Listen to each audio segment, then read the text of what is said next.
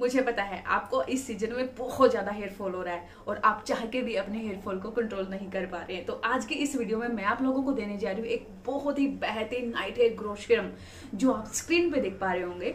ये night hair grow serum आपके hair fall को कंट्रोल करने में मदद करेगा। ना सिर्फ़ हेयर फॉल को कंट्रोल करेगा, बल्कि आपके बालों को वापस से उगाने में आपकी मदद कर सकता है, आपके बालों को लंबा बनाने में आपकी मदद कर सकता है। यू नो बहुत सारे लड़के लड़कियों का कहना होता है कि हेयर वॉश करने के बाद हमें बहुत ज़्यादा हेयर फॉल हो जाता है है ना? तो इस हेयर फॉल को कंट्रोल करने के लिए ये नाइट हेयर ग्रो सीरम आपकी मदद कर सकता है। ओनली थ्री इंग्रेडिएंट्स आपको यूज़ करने हैं। थ्री इंग्रेडिएंट यानी आपकी तीन प्रॉब्लम सोल्व कर सकते हैं। हेयर फॉल की प्रॉब्लम रीग्रोथ की प्रॉब्लम और आपकी हेयर लेंथ की प्रॉब्लम हर किसी के लिए सुटेबल हो सकता है। लड़के, लड़कियाँ दोनों आप इसको लगा सकते हैं। और जैसे कि मैंने बताया कि ये एक नाइट हेयर ग्रो सीरम होगा। आपको इसे नाइट में लगाना पड़ेगा। कैसे लगाना है, किन चीज़ों का ध्यान रखना है, कैसे बनाना है और कितने दिन के लिए आप इसको स्टोर करके रख सकते हैं, ये सब बातें जानने के लिए आपको वीडियो एंड तक देखना है, ध्यान से करना देखना है, बिना स्किप किए देखना है। ज़्यादा बातें हम नहीं करते हैं वीडियो हम स्टार्ट कर लेते हैं। वीडियो अगर आप लोगों को यूजल पसंद आ जाए तो प्लीज़ वीडियो को लाइक शेयर चैनल को सब्सक्राइब करना बिल्कुल मज़ा आएगा इस नाइट हेयर ग्रोशियम को बनाने के लिए आपका जो फ़र्स्ट इंग्रेडिएंट होगा, वो होगा अदरक का छोटा सा टुकड़ा। उसको वॉश कर लेना है, उसको पील ऑफ़ कर लेना है और उसको ग्रेट कर लेना है। एक्चुअली हमें यहाँ पे अदरक का सिर्फ़ एक चम्मच जूस चाहिए। ये अदरक जो मानसून सीज़न में हेयर फॉल होता है, जो गर्मियों में हेयर फॉल होता है, जो पसीना होने से हेयर फॉल होता है, जो डेंडर होने से हेयर फॉल होता है, जो आपका शैम्पू करने के बाद हेयर फॉल होता है इन सभी को कंट्रोल करने में आपकी मदद करता है, क्योंकि ये आपकी जड़ों को पोषण देता है, आपकी जड़ों को स्ट्रॉन्ग बनाने में आपकी मदद करता है। आपका जो नेक्स्ट इंग्रेडिएंट वो है फ्लैक्सीड आपको क्या करना है? एक पैन के अंदर आधा गिलास पानी हम डाल देंगे। मैंने पहले ही इसको बना लिया है और एक चम्मच हम फ्लैक्सीड डाल देंगे।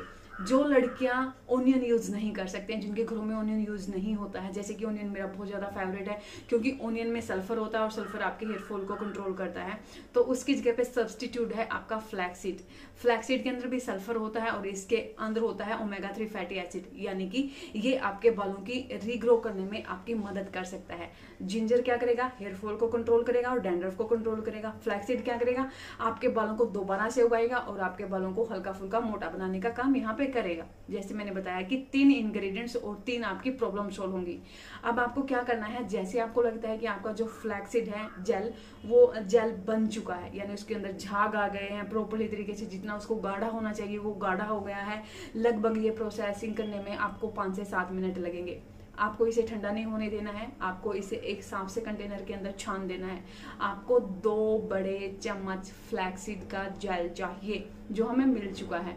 अब आपको एक चम्मच जो हमने अदरक का जूस निकाला था, वो आप इसके अंदर डाल देंगे ओके अब हम बात करते हैं कि आप अपने बालों की लेंथ को कैसे इंक्रीज कर सकते हैं।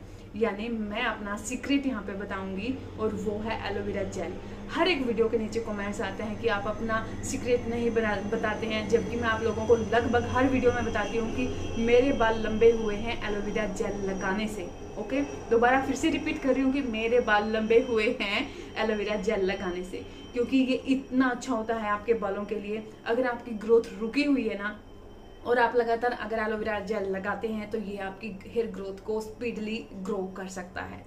तो तीनों ही इंग्रेडिएंट को अच्छे से मिक्स कर लेना है ओके इसके बाद बिना ऑयलिंग के आप ये हेयर ग्रोथ सीरम नहीं लगाएँगे। मतलब कि इसके अंदर आपको ऑयल भी डालना है।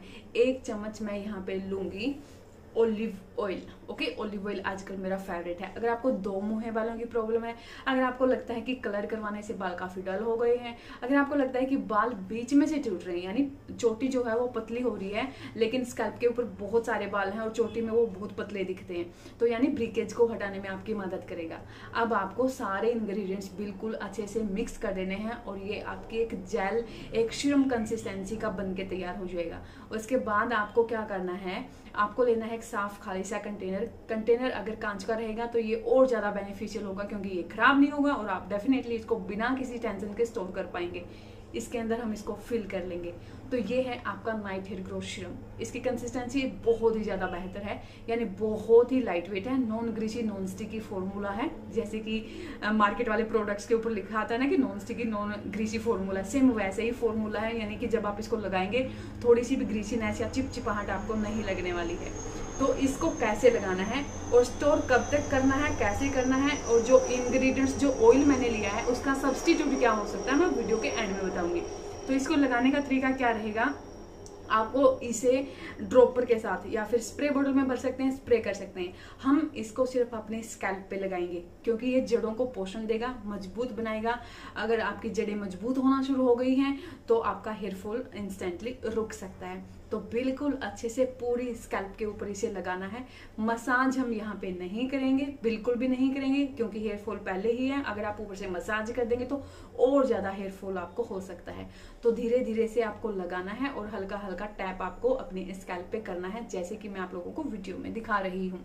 हल्का हल्का टैप करने के बाद हल्के हल्के ऐसे मतलब कि जैसे हम थप्पड़ से मारते हैं ना हल्के हल्के लाइट वेट से आपको करना है ऐसे। उसके बाद, जैसे आपको लगता है कि आपने पूरी स्कैल्प पे इस हेयर ग्रो सीरम को लगा लिया है, आपके जो प्रेशर पॉइंट्स हैं, जो इसके बारे में मैं आप लोगों को बहुत बार बता चुकी हूँ, जैसे कि हम अपनी स्किन पे फेशियल स्टेप करते हैं सेम वैसे ही आपके स्कैल्प के भी कुछ स्टेप होते हैं, जिससे ब्लड का फ्लो हो जाता है और जो रेमेडी आपने लगाई है, वो अच्छे से पेनिट्रेट होके आपके बालों की जड़ों में जाके उनको स्ट्रॉन्ग बनाती है। प्रेशर पॉइंट जहाँ जहाँ पे भी मैं आप लोगों को दिखा रही हूँ फोरहेड के बीच में आईब्रो के ऊपर या फिर आपकी हेड के आपके स्कैल्प के बीच में, इन सभी प्रेशर पॉइंट्स को आपको पाँच मिनट के लिए प्रेस करना है। आपको ये फालतू की चीज़ लगेगी, लेकिन जब आप इसको करना शुरू कर देंगे ना, देखिए, एक बार में कुछ नहीं होता है। जब आप इसको repeat and repeat and repeat करेंगे ना, यानी प्रेशर पॉइंट्स को, अगर आप हर रोज दबाते हैं तो आपके बालों में आपको जादू होता हुआ दिख सकता है। यानी आपका हेयर फॉल रुकेगा, आपके बाल हेल्दी बनेंगे, आपकी रीग्रोथ हो जाएगी, क्योंकि सारा कमाल हमारे ब्लड सर्कुलेशन का होता है।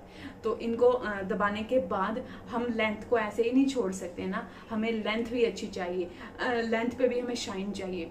तो ये नाइट हेयर ग्रोथ सीरम आपको रात में लगाना है स्कैल्प पे लगा के छोड़ देना है। लेंथ पे आपको नहीं लगाना है। अब लेंथ पे आपको, आप जो ऑयल यूज़ करते हैं, उस ऑयल का हम यहाँ पे यूज़ कर लेंगे। जैसे कि मैं कोकोनट ऑयल यूज़ करती हूँ तो मैं पूरी लेंथ पे कोकोनट ऑयल लगा लूँगी ओके तो लगा के आपको इसे पूरी रात भर के लिए छोड़ देना है।